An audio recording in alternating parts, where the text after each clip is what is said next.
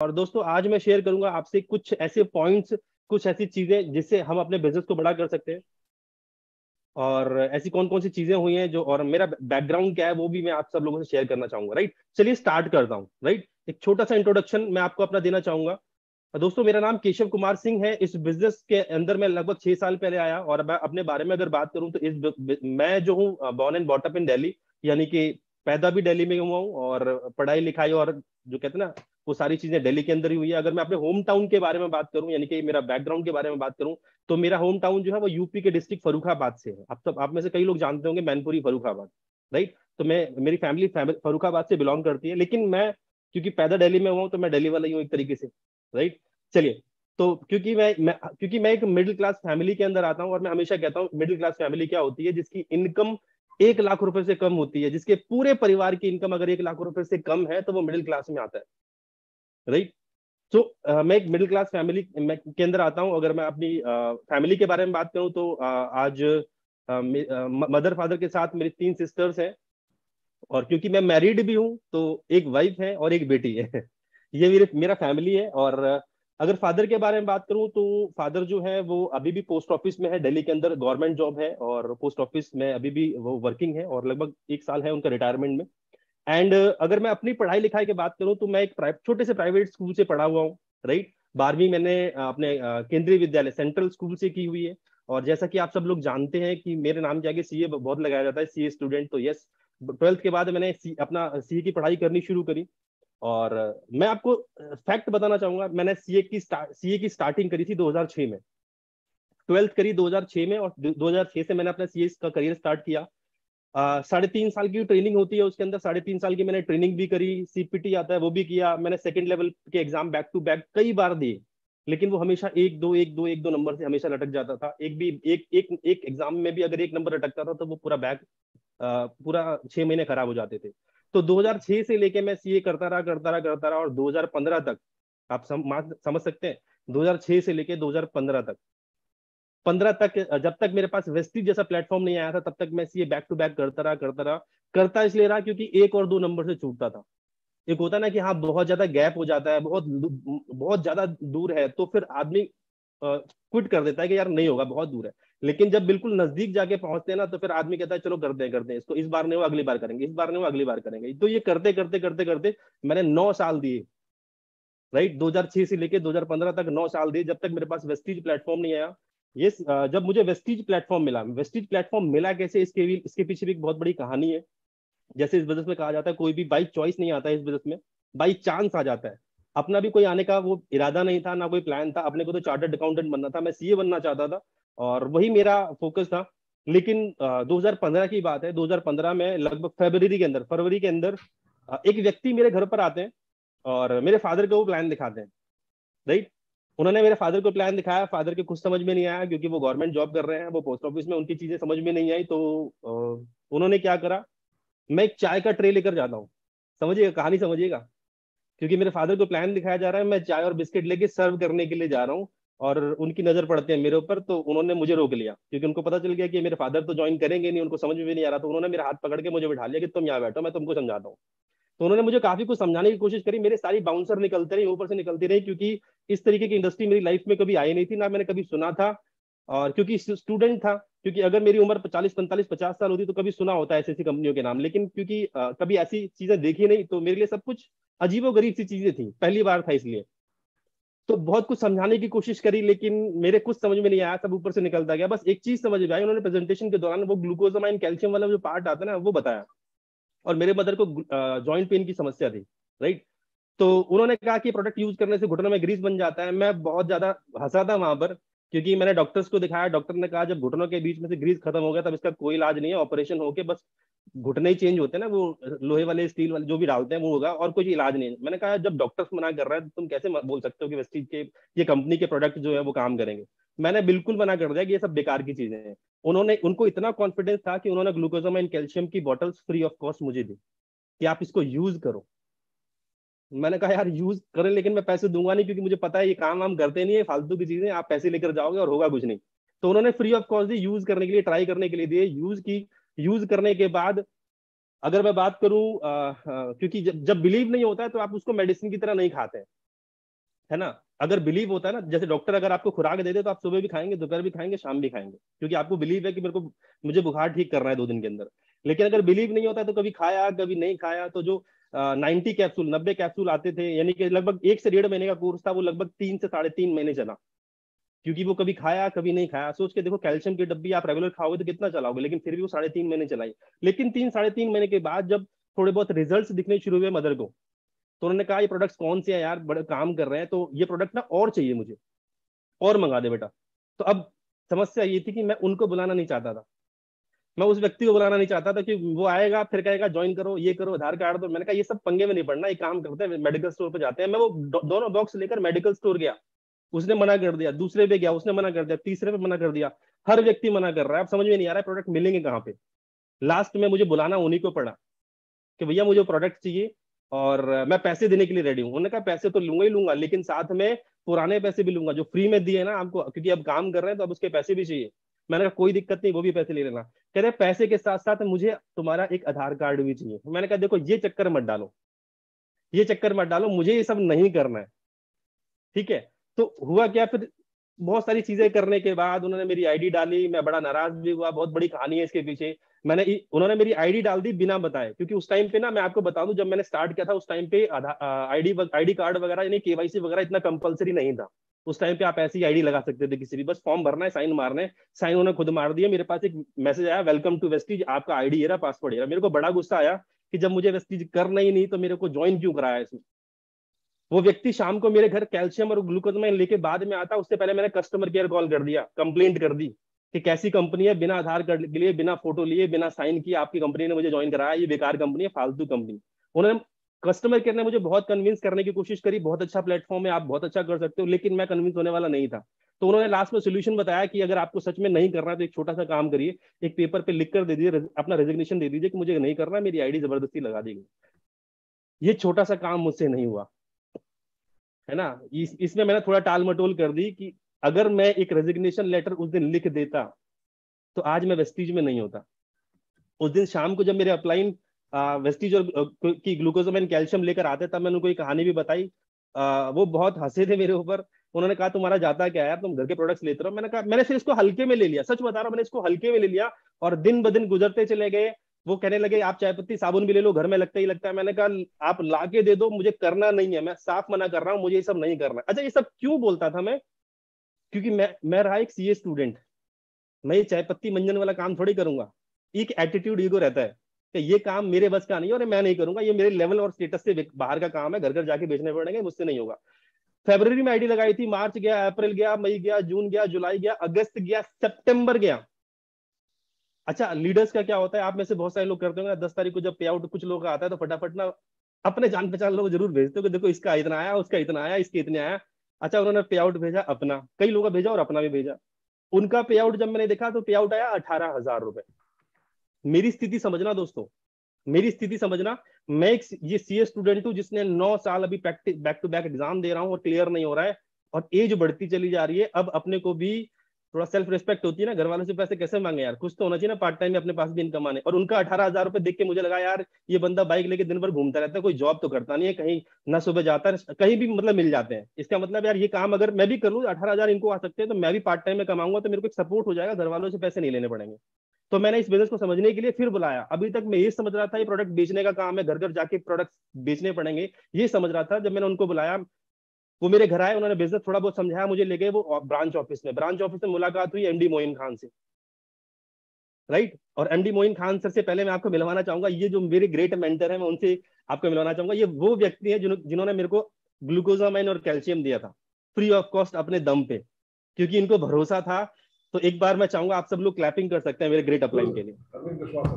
Right तो ज़बरदस्त personality है और मेरी लाइफ ट्रांसफॉर्म करने वाले, क्योंकि अगर ये ज़बरदस्ती मेरी आईडी ना लगाते तो मैं या तो चार्टर्ड अकाउंटेंट होता और चार्टर्ड अकाउंटेंट मेरी सीए क्लियर नहीं होती तो मैं अकाउंटेंट होता और आज भी जॉब कर रहा होता कहीं ना कहीं। सीए होता तो भी जॉब करता अकाउंटेंट होता तो भी जॉब करता। मेरी लाइफ को ट्रांसफॉर्म करने वाले वो व्यक्ति है, वो ये है। राइट और अगर मैं आगे बात करूँ मैं कुछ स्ट्रगलिंग डेज़ के बारे में बात करता हूँ, जब मैंने इस बिज़नेस को करना शुरू करा था। इस बिज़नेस को शुरू करने से पहले,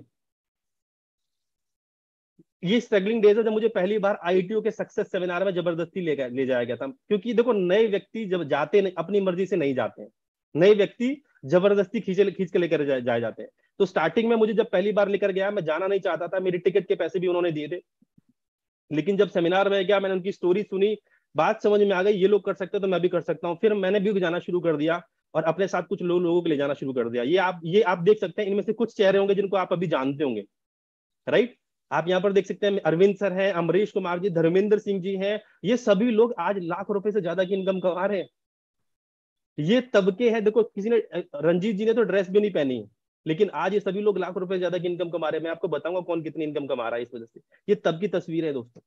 ये वो स्ट्रगलिंग डेज़ है। आईटीओ की सीएनटी हुआ करती थी। एक ही काम था संडे को सुबह सुबह आईटीओ की एनडी तिवारी भवन सीएनटी में जाना है, लोगों को भर भर के लेके जाना है। बाइक पर लेके जाते थे, दो बिठाते थे। मेट्रो में जाते थे, साथ में लोगों लेकर जाया करते थे। बाद में अपना एक ही काम था, क्योंकि मेरे गेस्ट मेरी कम सुनेंगे। आईटीओ सीएनटी में मेरा गेस्ट है, मेरी सुनेगा वो, मेरी नहीं सुनेगा। अपना काम था सीएनटी में भर देना। सीएनटी के बाहर आते ही एक लीडर ढूंढ लेते तो कोई एक लीडर मिल जाए बाहर, और उसको बस काउंसिलिंग के लिए दस मिनट के लिए उसके साथ खड़ा कर देना। यहाँ पर आप देख सकते हैं, राज मोहम्मद सर खड़े हुए अपनी सारी टीम को यहाँ खड़ा कर दिया और मैं पीछे हो गया, क्योंकि मेरी ये लोग नहीं सुनेंगे। मेरा दोस्त है, मेरा पड़ोसी है, मेरे रिश्तेदार है, मेरी बात इन लोगों को समझ में नहीं आएगी। तो मैंने एक सक्सेसफुल लीडर को खड़ा कर दिया, उनको इन्वाइट कर दिया और चारों तरफ़ इनको, इनके सामने खड़ा कर दिया काउंसलिंग ऑटोमेटिकली ये स्ट्रगलिंग डेज़ तब के हैं। ये ये माहौल आप लोग अब वापस देख पा रहे होंगे, जो जितने डेली एनसीआर वाले अब लोग आपको, आप प्याला भवन में सीएनटी मिल रही है। सेम ये माहौल तब हुआ करता था और इससे बहुत ज़्यादा सपोर्ट मिला मुझे। राइट ये तब तब की तस्वीर है दोस्तों जब मैं ब्रॉन्ज डायरेक्टर क्वालिफाई किया था। मैंने ब्रॉन्ज लेवल क्वालिफाई किया था और पहली बार वीएलसी ट्रेनिंग अटेंड करी थी। उस टाइम पे दोस्तों हम लोग सब सब लोग ना हमको बोला करते थे पागल लोग हैं।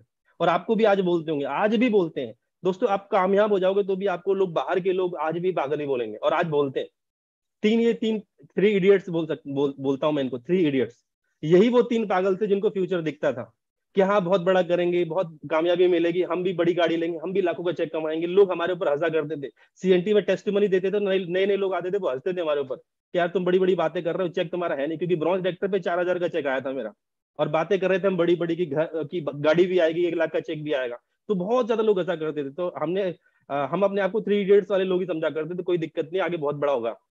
राइट ये वो मेंटर है मेरे, जिनसे मैंने बहुत कुछ सीखा है, दोस्त। मैं इनकी छोटी, इनके बारे में थोड़ा सा बताना चाहूँगा। जब मुझे पहली बार ब्रांच ऑफ़िस ले जाया गया था तो मुझे पीछे चेयर पे बिठा दिया गया और मुझे बताया गया, दोस्तों, कि आज एक ऐसी पर्सनैलिटी आने वाली है जो कभी स्कूल नहीं गए और आज वो आपको प्रेजेंटेशन देने वाले हैं। मुझे सच बता रहा हूँ, मैं नया नया व्यक्ति था, मैं नया नया पर्सन था, बड़ी हँसी आई। मैंने कहा, यार, एक अनपढ़ व्यक्ति आज मुझे, आज हमें बताएगा, मैं सी स्टूडेंट मैं यहाँ बैठा हूँ और अनपढ़ व्यक्ति हमें सिखाएगा, क्या बात कर रहे हो? राइट तो जैसे ही मोइन खान सर की एंट्री होती है, सब लोग तालियाँ बजाते हैं और मैं मैं कह रहा पागल है क्या सारे के सारे लोग? एक अनपढ़ आदमी उधर से आ, अंदर कमरे में आ रहा हो तुम तालियाँ बजा रहे हो किस बात की ताली बजा रहे हो? ये एटीट्यूड ना एक नए व्यक्ति का होता है। आप देखिएगा क्योंकि मैं तब नया था मुझे कुछ नहीं पता था इस बिज़नेस के बारे में इस इंडस्ट्री के बारे में तो एक नए पर्सन की तरह मैं ट्रीट करता था। मैंने कहा यार पागल की तरह ताली बजा रहे हो? क्यों बजा रहे हो? यार अभी तो आया भी नहीं बंदा।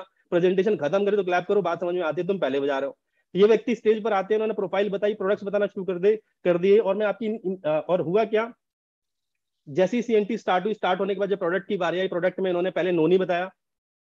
अच्छा नोनी के, जब इन्होंने जब इनकी स्लाइड पे चल रहा था नोनी तो इन्होंने बताया सारा स्पेरुलिना और जब इसकी नेक्स्ट स्लाइड आई नेक्स्ट पे आ गया स्पेरुलिना तो इन्होंने बता डाला सारा नोनी। मैं आपको बता दूँ नोनी और स्पेरुलिना दोनों की प्रोडक्ट की ना पैकेजिंग एक जैसी है। लगभग एक जैसी है। और ये ना तस्वीर देख के बताते हैं। राइट तो मुझे समझ में आई, व्यक्ति अनपढ़ तो है। क्योंकि बात मेरे समझ में आ रही है पहली बार जब नोनी की फ़ोटो थी तो उन्हें स्टोरल ने बताया और जो लिखी हुई चीज़ें थी वो बिल्कुल मैच नहीं करी।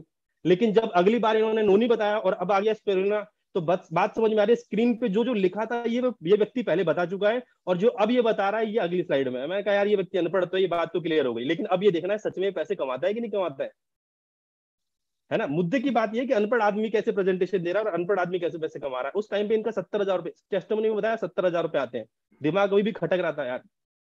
पढ़ा लिखा आदमी ज़्यादा चलाक होता है ना तो मैं यही समझ रहा था कैसे कमाते हैं सत्तर हज़ार, में देखना है। मीटिंग खत्म हुई, मीटिंग खत्म होने के बाद मैं अरविंद जी से बोला, मैंने कहा, सर, इनकी पासबुक देना चाहता हूँ। बैंक में पैसे आते हैं कि नहीं आते हैं? और ये भी बड़े कलाकार आदमी, ये पासबुक हमेशा साथ में रखते हैं। उस टाइम पे उन्होंने पासबुक खोल के दिखाई कि ये देखो, ये इतने का पे आउट ये इतना पे आउट उस टाइम सत्तर हज़ार रुपए का पे आउट मैंने गौर से देखा, उसके आगे वेस्टिज लिखा था। यार, मैंने कहा, ये भी क्लियर हो गया कि सत्तर हज़ार रुपए ये व्यक्ति कमा रहा है। और सत्तर हज़ार रुपए मेरे जैसे व्यक्ति के लिए तो बहुत है। सरकारी नौकरी में सत्तर हज़ार नहीं आते यार। मैंने कहा ये कर सकता है तो मैं भी कर सकता हूँ। और इन सब के बाद जैसे इनकी टेस्ट खत्म हुई तो इसके बाद एक और व्यक्ति की एंट्री हुई। मैं चाहूँगा उसके लिए क्लैप कर सकते हैं। मिस्टर संतोष यादव जी। उनकी एक बार उनकी इनके बाद एंट्री होती है। उनका चेक उस टाइम था ढाई लाख रुपए। राइट यूसीडी का लेवल था ढाई लाख रुपए का चेक स्टेज पर खड़े होके जो सर ने ऐसी ऐसी बातें कही ना अभी तक तो मैं वेस्टीज में कन्वर्ट नहीं हुआ था। लेकिन जब संतोष सर ने कुछ ऐसी ऐसी बातें कही लाइफ के बारे में करियर के बारे में वेस्टीज प्लेटफॉर्म क्या है, सच बता रहा हूँ, मेरी आँखें खुल गई। और फिर सीए का प्लेटफॉर्म जो था ना, मेरे, जो मैं अभी सीए कर रहा था, वो सारा का सारा डीफेम हो गया। कि अब मेरे सामने सिर्फ़ और सिर्फ़ एक ही चीज़ समझ में आ रही है, यार वेस्टीज वेस्टीज और कुछ नहीं। क्योंकि अगर आपने कभी संतोष सर को ढंग से सुन लिया ना, सच बता रहा हूँ विजन क्लियर हो जाता है। मेरा विजन क्लियर तब से हो गया था, मैंने वेस्टीज को ढंग से करना, तब से शुरू करा। और उसके बाद ये सिलसिला चलता रहा। अब ये देख सकते हैं आज मैं बड़ा प्राउडली बोल सकता हूँ कि एमडी मोइन खान सर के टीम के अंदर आज सबसे हाईएस्ट चेक वो है वो मेरा है। मैं प्राउडली बोल सकता हूँ। राइट तो मैंने बहुत कुछ सीखा है इनसे। जब चेक चेक नहीं आता था लोग पूछते तेरी इनकम कैसे कित, कितनी आई? अब मेरे पास जवाब नहीं है। आपके पास भी जवाब नहीं होता सर क्या जवाब दे? चेक आया नहीं। हम बड़ी बड़ी बातें कर रहे हैं। क्या? इनसे मैंने एक एक चीज़ सीखी सीखी कि सर ये बताओ कि लोग पूछते चेक कितना है? ये मुझे बताया करते थे कि आप आप चेक मत बताओ, आप सीधा बोलो कि चेक मैं उनको दिखाता हूँ जो सीएनटी में आते हैं, जो हमारी मीटिंग में आएगा मीटिंग खत्म हो जाएगी, उसके बाद मैं अपनी पासबुक दिखा दूँगा, जो मर्ज़ी वो देख लेगा। मैं भी यही क्या करता था यार चेक दिखाऊँगा, लेकिन मीटिंग में आने के बाद। मीटिंग में व्यक्ति आता था मीटिंग में आने के बाद जब वो टेस्टिमोनी सुनता था, किसी के पचास रुपए थे, किसी के सौ रुपए थे, लेकिन आज वो बीस हज़ार कमाता है, पचास हज़ार कमाता है, एक लाख कमाता है, जब वो इतनी, इतना सब देखा करता था ना तो बात समझ में उसकी भी जाती थी कि स्टार्टिंग में चेक नहीं आता, लेकिन जो दो से तीन साल टिकता है, उसके चेक आते हैं। इसके बाद वो व्यक्ति मुझसे चेक पूछता ही नहीं था। ये बेसिक बेसिक सी चीज़ें मैंने इनसे बहुत ज़्यादा सीखी है।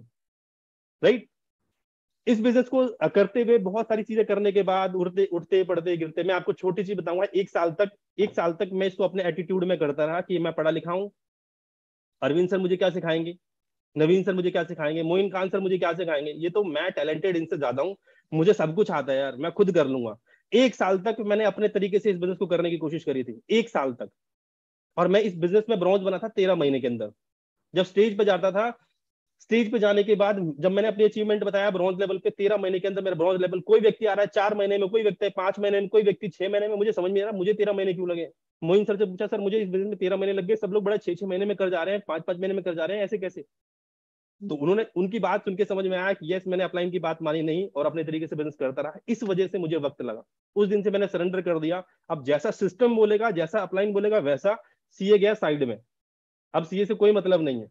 आज भी मुझसे लोग पूछते हैं सीए के बारे में बहुत कुछ पूछते हैं, मुझे कुछ नहीं पता, क्योंकि 2015 में मैं छोड़ चुका हूँ, तब से बहुत कुछ बदल गया। अब तो सीए का मुझे स्लैब रेट तक नहीं पता भी क्या चल रहा है। कुछ नहीं पता अभी। वो सब साइड में, अब बस एक ही नाम है कि हाँ सीए स्टूडेंट था, लेकिन आज मुझे कुछ भी नहीं पता। जीएसटी का कुछ नहीं पता, सेल्स टैक्स का कुछ नहीं पता, सब खत्म, सब मैं दिमाग से इरेज कर चुका हूँ। जिस फ़ील्ड में जाना नहीं, उसके बारे में सोचना ही क्यों है? अब वेस्टीज ही है हमारे लिए राइट बिज़नेस को करता रहा अचीवमेंट आनी शुरू हुई इस वजह से। वो क्या अचीवमेंट थी, मैं थोड़ा अचीवमेंट्स के बारे में भी दोस्तों आपसे शेयर करूँगा मैं आपसे। जब मैं इस बिज़नेस में आया था तो मैं आपको एक छोटा सा इंसिडेंस बताता हूँ। जब मैं सिल्वर डायरेक्टर लेवल पे था तो एक बार जब बारिश हो रही थी, बारिश के टाइम पे मेरे पास इससे पहले एक बाइक थी स्प्लेंडर राइट फादर की थी, वो मैंने ले ली थी बिज़नेस को डेवलप करने के लिए। उस उस बाइक के टायर बहुत ज़्यादा चिकने हो चुके थे। एक बार बारिश का टाइम था, वो बाज़ार के अंदर वो स्लिप हो गई। और मैं था अपनी व्हाइट शर्ट टाई और पैंट के अंदर। वो स्लिप हो गई और मैं नीचे गिर पड़ा और सारे कपड़े खराब हो चुके और साइड साइड में जो लोग खड़े थे ना वो सब मेरे ऊपर हंस रहे थे। सब लोग ज़ोर ज़ोर से हंस रहे थे। कोई ये नहीं कि उठा दें कोई उठाने नहीं आया। सारे व्यक्ति मेरा कपड़े फट गए मेरी बैग सारा गंदा हो गया सब और सब लोग मेरे ऊपर हंस रहे थे। वो वो, वो बात मेरे को बहुत ज़्यादा हर्ट कर गई।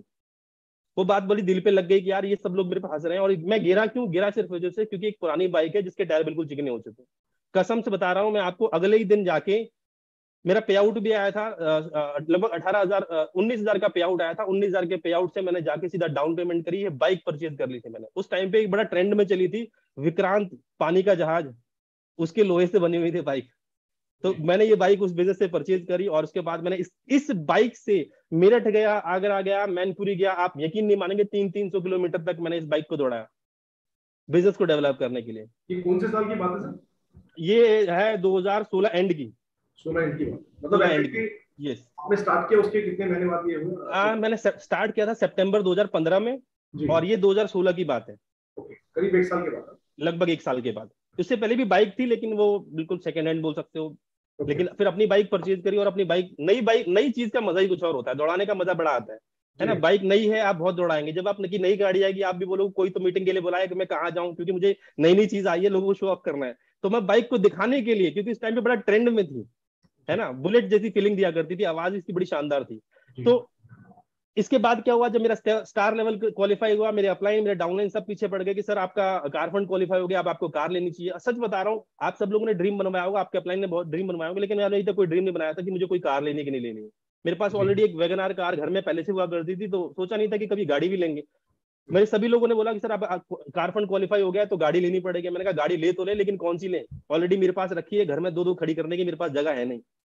तो ज़बरदस्ती मुझे शोरूम में लेकर गए, और एक प्लान था कि सारे शोरूम में घूमेंगे। कभी माले मारुति में जाएँगे, फिर टाटा में जाएँगे, फिर हुंडई में जाएँगे, सब में जाएँगे, जो अच्छी लगेगी उसमें से। और सच बता रहा हूँ, पहली, पहले शोरूम में गए मारुति में। वहाँ पर जाकर ये गाड़ी पसंद आ गई। सब लोगों ने बोला, ये गाड़ी ले लो। अच्छा मैं थोड़ा डरा हुआ था कि यार, एक काम करते हैं, लो मॉडल लेते हैं, सात लाख रुपए की आएगी ब्रेजा। सात लाख रुपए की। क्योंकि अभी तक मैं चार लाख की वैगनार चला रहा था मैंने कहा सात लाख रुपए की ले लेते हैं। सबने बोला तुम्हें कौन सी डाउन पेमेंट देनी है? ई पे कार फंड आ रहा है और आप आती रहेगी। तो सब लोगों ने ज़बरदस्ती करके करके साढ़े ग्यारह लाख रुपए ग्यारह लाख सड़सठ हज़ार रुपए की कार टॉप मॉडल बुक करा दी। और ये गाड़ी दो हज़ार सत्रह एंड में दिसंबर में। सेकंड ईयर आपकी गाड़ी आ चुकी है। यस पच्चीस दिसंबर 2017 को मैंने ये वाली गाड़ी ली इस वजह से। और मेरी बेटी का फ़र्स्ट बर्थडे था ये राइट और अगर मैं बताऊँ इस इस इस जर्नी के बारे में तो मैंने अपनी लाइफ के अंदर पहली बार एक कार डिलीवरी के अंदर इतने सारे लोगों को देखा था। ये पिक्चर तो बहुत कम है। मेरे कार के सेलिब्रेशन में लगभग लगभग सवा दो सौ लोग थे।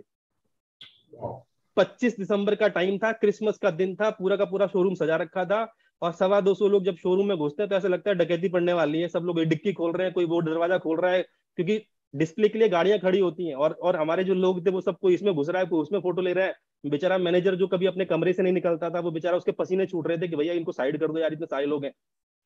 तो अब भैया मुझसे भी संभलने वाले नहीं है भैया ये तो हमारी टीम के लोग हैं हम एक ही चीज़ एक ही चीज़ मैंने उनको सांत्वना दे दी कि मैंने कहा ये वो लोग हैं जो आने वाले टाइम में आपकी इसी शोरूम से गाड़ी लेने वाले हैं। तो एक बार देख लेने दो सबको। है ना? तो लगभग सवा दो सौ लोग आए और ये पहली पहला मैंने अभी तक सच बता रहा हूँ मैंने अभी तक इतने सारे लोग नहीं देखे। कभी भी नहीं देखे इतने सारे अचीवर्स में आए। और इस गाड़ी को चलाते हुए लगभग चार साल पाँच साल साढ़े चार साल हो चुके हैं और अभी एक लाख किलोमीटर में सिर्फ़ तीन सौ किलोमीटर कम रह गया एक किलोमीटर एक लाख किलोमीटर होने वाले दो बार मैं टायर चेंज करा चुका हूँ इसके। राइट? और ट्रिप्स के बारे में बात करूँ क्योंकि इस बिज़नेस में ट्रिप्स भी मिलते हैं तो इस वजह से मेरा पहला ट्रिप था थाईलैंड का। थाईलैंड में मैं गया पहली बार। थाईलैंड ट्रिप एक ऐसा ट्रिप था, क्योंकि मैं विदेश कभी, ज़िंदगी में कभी गया नहीं फॉरन कभी गया नहीं, और कभी सोचा भी नहीं था, बस एक ही चीज़ थी, टीवी में देखा करते थे मूवी में देखा करते थे कि हाँ भाई, ये देश है, वो देश है। अब डर ये लगता था, पता नहीं वो लोग मेरी बात समझ पाएँगे कि नहीं समझ पाएँगे, ये पाँच छह दिन हम कैसे काटेंगे? अगर मुझे खाना खाना है, भूख लगी है, मैं उनको क्या बोलूँगा? क्योंकि थाईलैंड लोग वाले पता नहीं कौन सी लैंग्वेज बोलते हैं। तो वो क्या वो मेरी बात समझ पाएँगे, नहीं समझ पाएँगे? मेरे समझ में नहीं आया कि बड़ा, पहली बार जो ट्रिप पे जाता है वो बड़ा डरा डरा सा रहता है। पता नहीं कैसा होगा मैनेज कैसे होगा हम कैसे जाएँगे कैसे रहेंगे कैसे होगा। तो मैंने कहा यार मेरे साथ एक ऐसा व्यक्ति है जो हर ट्रिप पे जाता है। एक काम करते हैं उसके साथ लग लेते हैं। मैंने मोहिन सर का हाथ पकड़ लिया। मैंने कहा सर जहाँ जाओगे मुझे मत छोड़ना क्योंकि मैं पहली बार जा रहा हूँ और मुझे कोई एक्सपीरियंस नहीं है कि फ़्लाइट में बैठते कैसे हैं उतरते कैसे हैं कहाँ जाना है किससे मिलना है मुझे कुछ नहीं पता। आप कई बार जा चुके हो आप मेरे को अपने साथ रखना। मैं इनके साथ ही रहा पूरे ट्रिप पे पूरे ट्रिप पे इनके साथ घूमता रहा। क्योंकि फ़र्स्ट एक्सपीरियंस था। और ये भी बड़े मज़ेदार व्यक्ति हैं। फ़्लाइट के अंदर ऊपर बटन होती है, वो बार बार थोड़ी थोड़ी देर में दबा देते हैं। वो दबती है, वो एयर होस्टेस आती है, फिर वो पूछती है, क्या हेल्प कर सकते हैं? तो बार बार कभी पानी मंगाए, कभी कॉफ़ी मंगाए, कभी मैं अच्छा मुझे इरिटेट हो रहा था। मैंने कहा, सर, ये पता नहीं क्या सोच रही होगी? ये भी कह रही होगी, यार, कैसा आदमी है बार बार मंगा रहा है। यार, एक बार हो गया, ठीक है, दो बार हो गया। हर थोड़ी देर में कभी ठंड लग रही है तो कंबल ला दो, कभी पानी ला दो, कभी खाना ला दो, ये वो मैंने कहा, सर, क्या कर रहे हो? कह रहे कोई दिक्कत नहीं है मेरा रोज का है। मैं ये सब करता रहता हूँ और पूरा मज़ा लेता हूँ मैंने कहा ठीक है भैया। मुझे बड़ा ऑकवर्ड लग रहा था उस टाइम पे। एक छोटी एक छोटा सा इंसिडेंट फिर बताता हूँ। जिस जगह पर जिस सीट पर हम बैठे थे उसके जस्ट राइट साइड में एक इमरजेंसी गेट था। राइट हाँ। फ़्लाइट के अंदर एक इमरजेंसी गेट होता है। तो जो इमरजेंसी गेट के पास बैठता है ना उसके पास एक एयर होस्टेस आती है और वो पूरा इंस्ट्रक्शन देती है कि अगर कुछ हुआ इन केस एनी कुछ होता है तो आपको क्या करना है? और ये बैठे थे उस इमरजेंसी गेट पे। तो वो एयर होस्टेस आई और इंग्लिश के अंदर दुनिया भर की काम कहानी बोल गई। और वो बोलते रहे यस ओके ओके ये बोलते रहे ओके ओके यस यस ऐसे करते रहे मुझे बड़ी हँसी आ रही थी क्योंकि वो पूरा इंग्लिश में बोल के चलेगी और ये यस और ओके करते रहे। लास्ट में पूछ रहे केशव क्या बोला इसने? मेरे को बड़ी हँसी आई कि यार तुम्हें सारी चीज़ सुन गए और अभी तक समझ में नहीं आया। तो बड़ा बड़ा इंटरेस्ट बड़ा ये यादगार पल है और सबसे इंपॉर्टेंट चीज़ जो मुझे बहुत अच्छी लगी जब मैं पहली बार ट्रिप पर गया आप देख सकते हैं जब मैं, मैं फ़्लाइट पे बैठा हुआ हूँ और मेरी चेयर पे सीट पर पीछे एक वेस्टीज का लोगो है। ये मैंने नहीं लगाया। ये कंपनी ने लगाया। छोटी छोटी चीज़ की केयर करी है कंपनी ने। ये नहीं लगाते कोई फ़र्क नहीं पड़ता। लेकिन चेयर पर वेस्टीज का लोगो लगाए मेरे साथ एक व्यक्ति और बगल में बैठे हैं आप देख सकते हैं। इनकी चेयर पे वेस्टीज का लोगो नहीं है। ये वेस्टीजियन नहीं थे। यानी कि इस फ़्लाइट में कौन कौन वेस्टिजियन है कहाँ कहाँ बैठा है हर व्यक्ति के चेयर पर एक एक वेस्टिज का लोगो लगा है। इतनी छोटी छोटी बारीक बारीक चीज़ का ख्याल कंपनी रखती है। मुझे बहुत इमोशनल किया इस, इस चीज़ ने। क्या ज़रूरत थी? छोटा सा काम था क्या ज़रूरत थी सब करने की? लेकिन ट्रिप को यादगार बनाने के लिए कंपनी ने ये सब ये किया। ट्रिप पर मुझे मिले पहली बार मैंने व्हाट्सएप पर बहुत बार इनको देखा था फ़ोटो फ़ोटो में बहुत देखा था इनको। लेकिन वहाँ पर पहली बार मुझे मिले ये व्यक्ति जिनके दोनों हाथ नहीं है। मैं आप सब लोगों से एक चीज़ पूछना चाहूँगा। एक व्यक्ति जिसके दोनों हाथ नहीं है वो थाईलैंड ट्रिप पे क्या कर रहा है? फिर कंपनी फ्री में नहीं लेकर गई होगी। इस व्यक्ति ने ट्रेवल फंड क्वालिफाई किया होगा तभी वहाँ पर गया है। ये और वाइफ वहाँ पर है। तो मैं आप सब लोगों से पूछता हूँ अगर एक एक व्यक्ति जिसके दोनों हाथ नहीं है वो कैसे प्लान दिखाता होगा? कैसे सब प्रोडक्ट परचेज कर, करता होगा? कैसे घर लेकर जाता होगा? इतनी सारी चैलेंजेस होने के बाद भी अगर वो ट्रिप पर गया है तो फ्री में नहीं गया है क्वालिफाई करके गया है। तो अगर ये कर सकता है तो आप और हम सब क्यों नहीं कर सकते? राइट इनके साथ बड़ी तस्वीरें हम लोगों ने व्हाट्सएप पर देखी थी तो पहली बार मुझे वहाँ पर मिले। ये पटाए की तस्वीर है जिसमें अपने सारे मेंटोर सारी सारी एलओएस के साथ मुझे तस्वीर खिंचाने का मौका मिला। पहली बार था डरा डरा डरा डरा लग रहा था।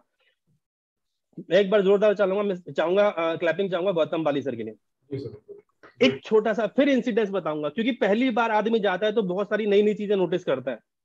हम लोग दिल्ली के एयरपोर्ट पे जब बैठे हुए थे तो सभी लोग अपना वेट कर रहे थे चलो बोर्डिंग का टाइम स्टार्ट होगा। अचानक से एक लंबा सा व्यक्ति उधर से आता है। राइट और सारे के सारे वेस्टिजियन चिपक पड़ते हैं। सर सेल्फी सेल्फी सर एक फ़ोटो सर अच्छा जो मेरा मेरा जो नज़र था ना, मेरी नज़र थी उन लोगों पर जो वेस्टिज में नहीं है, जो वहाँ पर प्लेटफॉर्म बोर्डिंग के टाइम पर बैठे हुए थे, वो सब बड़ा घूर के देख रहे थे, ये कौन सा लंबा सा व्यक्ति आया जिसके साथ लोग लोग फ़ोटो खिंचवा रहे हैं। ना ये अमिताभ बच्चन है, ना ये शाहरुख खान है, ना ये सलमान खान है। लोग पागल क्यों हो रहे हैं सेल्फी खिंचवाने के लिए?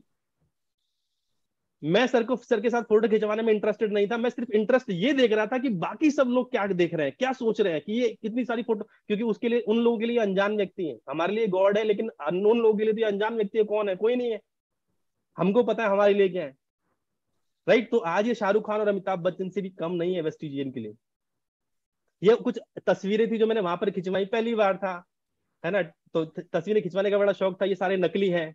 नहीं, ये नकली केले हैं, नकली आती हैं। वहाँ पर तस्वीर खिंचाई। ये मेरे पार्टनर थे, जिन्होंने क्वालिफाई किया था, धर्मेंद्र जी। मैं आपको बता दूँ, हम लोग यहाँ से दिल्ली से गए थे तो अलग अलग फ्लाइट्स में गए थे। हम दोनों का टाइम बिल्कुल अलग था, पाँच से छह घंटे का टाइम फ़र्क था। मैं आपको बता दूँ, तीन दिन के बाद मेरी मुलाकात हुई थी इनसे। लगभग दो हज़ार लोग ट्रिप पर गए थे। इन दो हज़ार लोगों में मेरी तीन दिन के बाद इनसे, मेरे खुद के पार्टनर थे जो मेरे डाउनलाइन है, इनसे मुलाकात मेरी तीन दिन के बाद हुई। क्योंकि इतने सारे लोगों में वो व्यक्ति कहाँ है, पता नहीं। ये सब पता ही नहीं कि वहाँ पर भी सिम भी लेनी होती है। ये पता नहीं था कि हमारा नंबर चलेगा ही नहीं वहाँ पे। हम तो सोचते हमारा भी चलेगा। चला ही नहीं वहाँ पे। अब कम्युनिकेशन करें कैसे? ये व्यक्ति कहाँ है? तो तीन दिन के बाद जब वहाँ पर गाला डिनर हुआ तो गाला डिनर में मेरी मुलाकात हुई। हम दोनों ऐसे गले मिल पड़े। मैंने कहा, यार बिछड़ा भाई मिल गया मेरा। क्योंकि दूसरे देश में जब मिलता है ना, आदमी तो ऐसे ही मिलता है। तो ये वो ये दोनों मेरे मेंटोर्स हैं। जिनसे मैं बहुत कुछ सीखा और आज मैं यहाँ तक पहुँचा हूँ तो इन दोनों की वजह से पहुँचा हूँ। MD Moin Khan sir and Santosh Yadav ji इन दोनों का बहुत बड़ा रोल रहा है मेरी कामयाबी के अंदर। इसके बाद जो दूसरा ट्रिप क्या वो बहुत ही अमेजिंग और साथ आ, यादगार रहा है वो स्टार क्रूज का। अभी तक हमने पिक्चर में ही देखा था। कहो ना प्यारे पिक्चर देखी होगी। है ना? वो बड़े बड़े जहाज़ से गिर जाते हैं एक बीच पे चले जाते हैं टापू पे गिर जाते हैं। आपने देखा होगा ना? तो ये वो बड़ा वाला जहाज़ है जिसके अंदर हमें घूमने का मौका मिला। इसके अंदर 1900 वेस्टिजियन स्टे करे थे।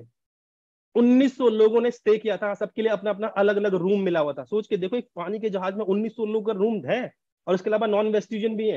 हम लोग यहाँ पर जब डिनर किया करते थे लंच किया करते तो ये नहीं पता था कि हमने कल डिनर कहाँ किया। इतने सारी जगह मतलब आपको देखने में बहुत छोटा लग रहा होगा, लेकिन ये एक बड़े शहर से छोटा नहीं है। आदमी अपना कमरा ढूंढ ढूंढ नहीं पाता था, हम कहाँ स्टे कर रखे इसमें घूमने का मौका मिला। ये सारे वो लीडर्स थे जिनके साथ हम लोग गए, हमने वहाँ पर पिक्चर्स खिंचवाए जिसमें हम राज मोहम्मद सर है, इनके साथ तस्वीर खिंचवाने का मौका मिला। ये कुछ, ये सारी एक्टिविटीज़ पानी के जहाज़ के ऊपर की है, अंदर की है, बाहर नहीं है। कि पानी के जहाज़ के ऊपर हम लोगों ने डांस वगैरह किया वहाँ पर। ये वहाँ पर हम लोग फुकेट घूम कर आए। फुकेट जो हम अभी फिर से जा रहे हैं, अगस्त में जा रहे हैं तो कंपनी ने फुकेट भी लेकर गई थी वहाँ पे मलेशिया से। राइट मलेशिया के बाद फिर वहाँ पर मुझे एक, फिर ऐसे व्यक्ति मिले जिनको मैंने व्हाट्सएप पे बहुत देखा था फेसबुक पर बहुत देखा था, जिनका नाम है मिस्टर इरशाद अहमद। ये एक ऐसे व्यक्ति जिनको दो, दोनों आँखों से दिखाई नहीं देता। ये दोनों आँखों से देख नहीं सकते लेकिन आज यूनिवर्सल क्राउन डायरेक्टर है ढाई लाख रुपए का चेक है। मुझे बड़ा इंस्पायर किया जिस व्यक्ति को दिखाई नहीं दे रहा वो व्यक्ति मलेशिया के ट्रिप पे कर क्या रहा है और क्या एंजॉय कर रहा होगा? आप सोचो क्या एंजॉय कर रहा होगा? जिसको दिखाई नहीं दे रहा वो फॉरेन ट्रिप पे क्या एंजॉय कर रहा होगा? उसके लिए तो सारी दुनिया एकदम ब्लैक एंड व्हाइट है। यस और नो अब सोच के देखो, अगर ये व्यक्ति वहाँ पर है तो फ्री में नहीं गया होगा क्वालिफाई करके गया होगा। और घूम, जिसको दिखाई नहीं दे रहा, वो ट्रिप के मज़े ले रहा है। अगर ये कर सकते हैं, अगर ये ढाई लाख रुपए के चेक पे पहुँच सकते हैं तो आप और मैं क्यों नहीं पहुँच सकते? अगर दोस्त इनसे भी इंस्पायर नहीं हो सकते तो फिर हमारे अपलाइन हमारे डाउनलाइन हमारे क्रॉस लाइन बाली सर और कोई भी आपको इंस्पायर नहीं कर सकता। सबसे बड़ी इंस्पिरेशन वेस्टीज में यही है। अनपढ़ व्यक्ति पैसे कमा रहा है, जिसके हाथ नहीं है वो पैसे कमा रहा है, जिसके पैर नहीं है वो कार चला रहा है, जिसकी आँखें नहीं है वो ढाई ढाई लाख रुपए कमा रहा है, ये इंस्पायर नहीं कर सकते तो हमें कोई भी इंस्पायर नहीं कर सकता। इसी वजह से मुझे तीसरा ट्रिप भी मिला। तीसरे ट्रिप की कुछ तस्वीरें हैं बीएमडब्ल्यू कार, क्योंकि वहाँ पर जहाँ मैं देखूँ, वहाँ बीएमडब्ल्यू और मेरी ड्रीम कार है बीएमडब्ल्यू जहाँ देखूँ, वहीं ये कार दिखे तो जहाँ भी हम लोग मिलते, जहाँ भी गाड़ी दिखती थी, मैं फ़ोटो ज़रूर क्लिक कराता था। राइट ये एक तस्वीर है वहाँ की। मिस्टर सिद्धार्थ सर एक बार जोरदार क्लैपिंग कर सकते हैं इन, इनके लिए क्योंकि इन्होंने तो मैं क्या बताऊँ यार डायरेक्ट सेलिंग की परिभाषा ही बदल रखी है इस टाइम पर तो। नेटवर्क मार्केटिंग में इनसे बड़ा योद्धा तो मेरे ख्याल से शायद ही कोई होगा कोई भी नहीं है दूर दूर तक कोई भी नहीं इवन एशिया छोड़ दो पूरे वर्ल्ड में कोई भी नहीं है। राइट इन्होंने आज की डेट में आप लोगों को दिल्ली एनसीआर के लोगों को तो आज मतलब इतनी बड़ी सौगात दे रखी है कि सेमिनार तीन C N T free of cost आप बस लोगों को भरते जाइए। प्लेटफॉर्म इन्होंने बना रखा है आपको सिर्फ़ और सिर्फ़ लोगों को लेकर आना है। कामयाबी ऑटोमेटिकली सिस्टम बना दिया एक आपको ज़्यादा मेहनत करने की ज़रूरत ही नहीं है। ये सभी वो लोग हैं जिनकी इनकम पाँच लाख, आठ लाख, दस लाख, बीस लाख, पचास लाख, एक करोड़ लोग हैं, करोड़ रुपए की इनकम है, ये सब वो लोग हैं। मतलब कहते हैं ना वेस्टीज की टॉप लीडरशिप है ये। इसके अंदर मुझे भी फ़ोटो क्लिक कराने का मौका मिला। सोच के देखो, जैसे, कहते ना, जैसे संगत में आप रहते हो, वैसे बन जाते हो। तो मैंने कहा, यार, इतने सारे लोगों के बीच में तस्वीर खिंचाने का मौका मिला। ये ये वेस्टीज प्लेटफॉर्म की पावर है। ये एक तस्वीर है, कहाँ की है? ये केप टाउन शहर। केप टाउन शहर के सबसे ऊँचे टॉप व्यू की है। और मैं आपको बता दूँ, यहाँ पे माइनस में टेम्परेचर है माइनस में। और ये बात हमको पता नहीं थी। हमको लगा ऊपर जा रहे हैं, ऊपर तो ऐसे ही होगा नॉर्मल होगा, लेकिन यहाँ माइनस में टेम्परेचर था। आप देख सकते हैं, नवीन करण सर ने कैसी जैकेट पहनी है और इन्होंने कैसी जैकेट पहनी है, लेकिन एमडी मोइन खान और मुझे तो पता ही नहीं था कि यहाँ पे ठंड होगी। हम तो ऐसे चले आए हाफ़ टी शर्ट में। वहाँ जाके सच में पता चला कि कितनी ठंड है। जिस जिस टाइम पे दिल्ली के अंदर इंडिया के अंदर लोग पसीना बहा रहे थे एसी चला रहे थे, अगस्त के महीने में वहाँ पर कप कपाती ठंड थी माइनस राइट वहाँ पर हमको जंगल सफारी करने का मौका मिला। ज़िंदगी में पहली बार मैंने सफ़ेद हाथी देखा। हाथी तो बहुत देखे, लेकिन आज तक ज़िंदगी में सफ़ेद नहीं देखा था कि सफ़ेद भी होता है। आज तक तो ब्राउन तो सुना था, लेकिन सफ़ेद ज़िंदगी में पहली बार देखा। राइट ये ओपन ओपन गाड़ी है जिसके अंदर शेर हमारे सामने लड़ाई कर रहा है। अब हमको लग रहा था ये ओपन गाड़ी शेर हमारे ऊपर ना आ जाए। राइट अच्छा शेर हमारे ऊपर आता है क्यों नहीं क्योंकि उसको ना वहाँ पर उसकी खुराक मिल रही होती है। उसकी खुराक इंसान नहीं है उसका खुराक है भोजन वो जानवर। तो वो जानवर ऑटोमेटिकली उसको वहाँ मिल रहे होते हैं तो वो हम पर कभी अटैक नहीं करता। राइट ये तस्वीर है कुछ वहाँ की। ये केप टाउन शहर जहाँ के टॉप व्यू का। आप मैं एक छोटा सा उदाहरण दिखाऊँगा। मेरे कर्सर पे दिख सकते हैं। ये दिख, दिखाई ये दिखाई दे रहा है कुछ? ये वो स्टार क्रूज है। आप सोच सकते हो हम कितना ऊपर है। ये आपको दिखाई दे रहा है ये? ये फुटबॉल स्टेडियम है, क्रिकेट स्टेडियम से चार गुना बड़ा होता है फुटबॉल स्टेडियम, और ये बिल्कुल छोटा सा दिख रहा है। आप समझ सकते हैं हम कितना ऊपर है। ये बिल्डिंग्स दिख रहे हैं, ये कम से कम सौ सौ मंजिला इमारती ऊँची इमारतें हैं। हमको यहाँ से लगनी छोटी सी। ये इतनी ऊँची जगह है कि यहाँ पर हमको सांस लेने में दिक्कत हो रही थी, ऑक्सीजन की कमी थी इतनी ऊँची जगह पर। दस मिनट से ज़्यादा स्टे करना की परमिशन हमको यहाँ पर नहीं थी। इतना ऊपर वेस्टिज अच्छा कैसे? ये सब पॉसिबल कैसे हुआ? ये सब पॉसिबल है। वेस्टीज के चाय साबुन पेस्ट और वो ग्लूकोजामाइन कैल्शियम जो मुझे देकर गए थे ना अरविंद सर अगर वो देकर ना जाते मेरे घर पर ना आते तो मैं यहाँ पर ना घूम रहा होता। ये उस चीज़ की पावर है। राइट ये कुछ तस्वीरें थी जो मैंने अपने एलओएस के साथ वहाँ पर खिंचवाई। बहुत मौज मस्ती करते हैं यार हम सभी लोग। ट्रिप पर जाएँगे जो जो, जो लोग ट्रिप पर जाएँगे ना उनको पता चलेगा कितना मौज मस्ती होती है। चार फॉरन ट्रिप्स किए हैं तो चौथा ट्रिप अगेन इस कोविड कोविड नाइनटीन से पहले मैंने किया। और ये वाला ट्रिप था जो मैंने अपनी फैमिली के साथ किया। मेरी वाइफ भी थी, मेरी तीन साल की बेटी भी थी। सोच के देखो, तीस तीस साल तक मैं इस ट्रिप पर नहीं जा पाया, लेकिन मेरी बेटी तीन साल की उम्र में घूम के आई है। अगेन फिर देख सकते हो वेस्टीज के लोग फिर लगे हुए हैं यहाँ पर, फिर से। छोटी छोटी चीज़ों की केयर करी जाती है यहाँ पे राइट ये आप देख सकते हैं कि थाईलैंड का ट्रिप किया। अगर एक महीना पहले और कोविड आ गया होता तो शायद ये ट्रिप भी ना हो पाता, क्योंकि मार्च 2020 में कोविड आया दिल्ली में सब कुछ बंद हुआ इंडिया में सब बंद हुआ, और फरवरी में जस्ट हम लोग घूम के ही आए थे वहाँ से। राइट और उसके बाद अगर अगेन अब अगले महीने फिर जा रहे हैं। कि वो सारे लीडर्स हैं, मेरे टीम के कुछ लीडर्स हैं, लगभग तीस लोग गए थे। तीस लोग ट्रिप पर गए थे और तीस लोग इस तस्वीर में इसलिए नहीं आए क्योंकि कौन, कहाँ है, पता ही नहीं है। वेस्टीज में इतने सारे लोग ट्रिप पर जाते हैं, पता ही नहीं चलता और मिलते ही नहीं है, वहाँ पर तो खो जाते हैं, भूल भुलैया चलता है वहाँ पर। Right right? कुछ अवार्ड्स एंड रिकॉग्निशन के बारे में बात करना चाहूँगा। बड़ा जो कितने प्राइड मूवमेंट होता है हम सबके लिए। ये वो मेरा क्राउन का लेवल था। जब मैं इस बिज़नेस में आया था तो स्टेज मैंने देखा अवार्ड फ़ंक्शन अवार्ड फ़ंक्शन में देखा ब्रॉन्ज डायरेक्टर को बड़ी भीड़ में ट्रॉफी दी जाती है। मैंने कहा नहीं नहीं नहीं, देखा स्टार डायरेक्टर को तसल्ली से दी जाती है मैंने कहा स्टार करेंगे स्टार लेवल क्वालिफाई किया। जब मैंने स्टार किया तो अगेन फिर स्टार को भीड़ में ट्रॉफी देनी शुरू कर दी क्योंकि इतने सारे स्टार बन गए। मैंने कहा अगली बार डायमंड करके आएँगे और अकेले में ट्रॉफी चाहिए। डायमंड किया तो कंपनी ने दस दस लोग फिर खड़े कर दिए दस डायमंड डायरेक्टर स्टेज पे बुलाए और फिर दस को मैंने कहा यार ये अकेले तस्वीर कब आएगी? मेरे को अकेले फ़ोटो चाहिए क्योंकि इतने बड़े स्टेडियम में अकेले फ़ोटो कब आएगी? तो देखा क्राउन डायरेक्टर को अकेले अकेले दी जाती है फिर क्राउन का लेवल अचीव किया इस बिज़नेस में तब जाके वो ड्रीम पूरा हुआ कि लगभग पंद्रह हज़ार लोगों के सामने अकेले ट्रॉफी मिली। तो इसमें मैं था और मैं अपनी वाइफ को साथ लेकर गया था तो हम दोनों लोगों ने इस पंद्रह हज़ार लोगों के सामने क्राउन डायरेक्टर की ट्रॉफी ली। इसको इसको बोलते हैं प्राउड प्राइड मूवमेंट ये ये चीज़ें मैं कभी अपने प्रोफेशन में कभी ना कर पाता। बड़ा मज़ा आया जब मेरी यहाँ पर तस्वीर क्राउन डायरेक्टर के लेवल पे तस्वीर आई इसमें। और इसके बाद जो अगला लेवल किया मैंने कोविड नाइनटीन से पहले। यूसीडी का लेवल किया। इसमें अगेन पंद्रह हज़ार लोगों के सामने इंदिरा गांधी स्टेडियम के अंदर। अगेन फिर मुझे यूनिवर्सल क्राउन डायरेक्टर का अवार्ड मिला। बड़ा प्राइड फील होता है कि यार मैं बिल्कुल सही जगह सही प्लेटफॉर्म के अंदर हूँ। ये मैं आपको तस्वीर दिखाना चाहूँगा जब मैं वेस्टीज में नहीं था 2015 से पहले। जब अरविंद सर ने मुझे वेस्टीज ज्वाइन करा था उससे पहले। और जब मैं वेस्टीज में आया वेस्टीज में जब हेल्थ सप्लीमेंट्स खाने शुरू करे तो आज लाइव देख सकते हो कितनी बदल चुकी है। टोटल ट्रांसफॉर्मेशन हो चुका है। राइट अगर मैं बात करूँ अर्निंग के बारे में इनकम के बारे में बात करूँ तो दोस्तों मैंने पहले साल अपना दिमाग बहुत ज़्यादा लगाया था तो मेरे पहले टोटल पहले साल की इनकम थी लगभग तेरह हज़ार रुपए। तेरह हज़ार रुपए पूरे साल की इनकम बता रहा हूँ। तो महीने की इनकम कितनी पड़ी? एक हज़ार एक सौ बारह रुपए। बिज़नेस को सरेंडर कर दिया कि अब अपलाइन की बात मानूँगा, अपना दिमाग नहीं लगाऊँगा, उसके बाद बिज़नेस करना शुरू करा। दूसरे साल की इनकम पहुँची एक लाख साठ हज़ार रुपए। अगर एवरेज बात करूँ तो लगभग तेरह हज़ार रुपए महीने की पड़ने लगी। अगर मैं तीसरे साल की बात करूँ, दोस्तों, मैं साल साल की बात क्यों कर रहा हूँ? मैं हर महीने के चेक क्यों नहीं दिखा रहा? क्योंकि अक्सर ना मार्केट में लोग आपको ना एनुअल पैकेज बताते हैं। किसी व्यक्ति से पूछोगा हाँ भाई, क्या सैलरी है? तो वो सैलरी नहीं बताएगा। वो बोलेगा, मेरा ढाई लाख का पैकेज है। वो बोलेगा, मेरा पाँच लाख का पैकेज है। तो मैंने कहा, यार, आज के बाद हम भी पैकेज ही बताएँगे, क्योंकि पैकेज में धमाका ज़्यादा होता है। तो हम भी पैकेज बताएँगे फिर।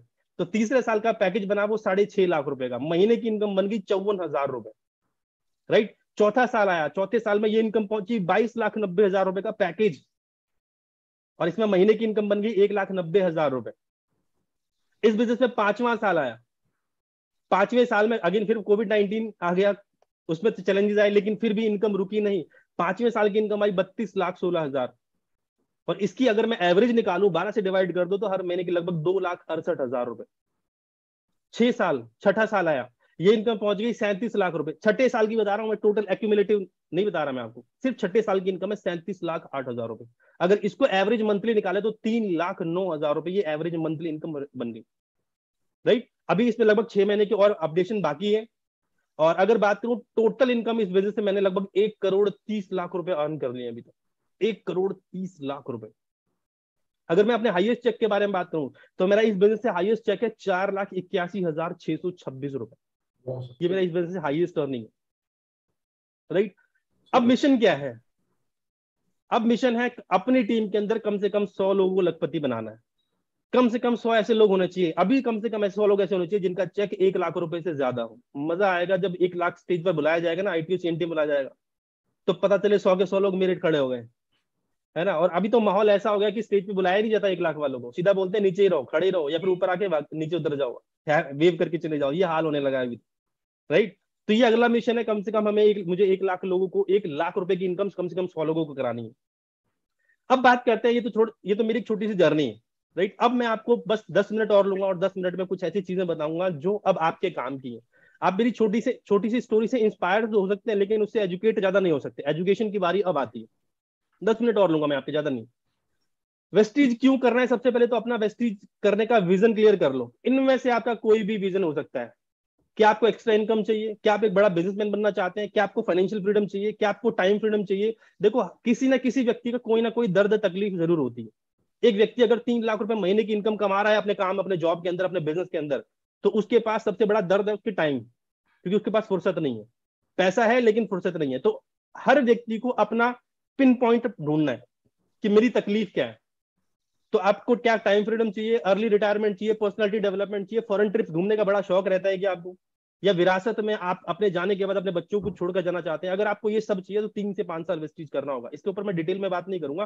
तीन से पाँच साल कर दे तो, तो ये सारी चीज़ें हो सकती है। ये सब चीज़ें हो सकती नहीं है। मेरे साथ ये सारी चीज़ें हो गई छोटे से उदाहरण मैं आपसे फिर लेना चाहूँगा।